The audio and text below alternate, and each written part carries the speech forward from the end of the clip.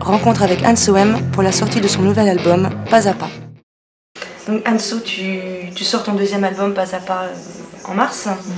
Donc, quelle différence par rapport au premier? Alors par rapport au premier, ça sera beaucoup plus rock, plus énergique, avec des textes qui incitent euh, au réveil des consciences. Je pense à une chanson comme Wake Up ou euh, une chanson aussi sur Paris, qui est une ville que j'adore particulièrement. Et aussi des ballades plus poétiques comme euh, Save the Day. Je me suis aussi beaucoup plus investie dans, dans ce CD puisque j'ai commencé à, écrire des textes ou à coécrire et à composer aussi toutes les, mélodies voix en fait. Puis les arrangements, on a fait ça en groupe. Chacun faisait sa, petite euh, piste instrumentale et puis ensemble, euh, on faisait notre petite cuisine en fait. Euh. Il y a de belles collaborations sur l'album, tu, peux nous en parler?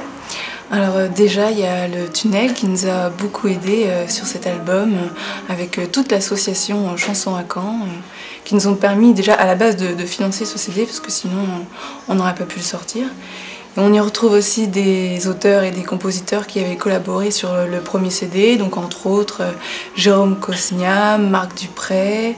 Il y a aussi une très très belle collaboration avec un photographe euh, professionnel qui s'appelle Didier Messina, donc euh, un grand merci à lui, c'était aussi une belle expérience. Et aussi donc, la plus belle des, expériences et des collaborations, c'est Louis Bertignac qui a collaboré sur le titre Je ne veux pas être seul. Donc ça c'était euh, une grande surprise pour nous, euh, très très belle surprise. On a eu un petit coup de fil un soir euh, pour aller chez lui, mixer, enregistrer, faire les prises du titre. Quoi. Donc un grand grand merci à, Louis. Et, une belle rencontre. Oui, oui, oui. très enrichissante. C'était un instant magique, c'est clair. Donc, et à côté de ça, il y, a aussi la scène qui qui t'a permis de faire les, premières parties de Dolly, Bébé Brune, Mademoiselle K ou, Luc Oui, tout à fait, c'est très important pour nous. Euh, on adore vraiment euh, la scène, euh, rencontrer son public, c'est très très important. On sent cette relation justement parce que c'est vrai que sur, sur MySpace ou Internet ça reste virtuel. Là c'est le moment justement où on voit comment le public réagit à notre musique.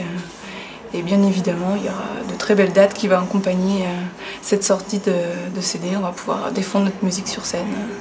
On attend le plus de monde possible. Un très beau rendez-vous, on espère en tout cas. Retrouvez toutes les infos d'Anne sur son MySpace, myspace.com, Anne Music.